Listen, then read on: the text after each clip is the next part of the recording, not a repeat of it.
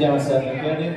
A táncom fog következni, és annyira szeretnék tőleget kérni, hogy itt a barna vonalat, illetve azt a piros létszik, hagyjátok meg, addig ne gyertek be, mert uh, nem akarok nektek menni tánc közben. Jó, a következő szünetben még kedveskedünk egy kis jazz dance és amíg élvezni fogjátok.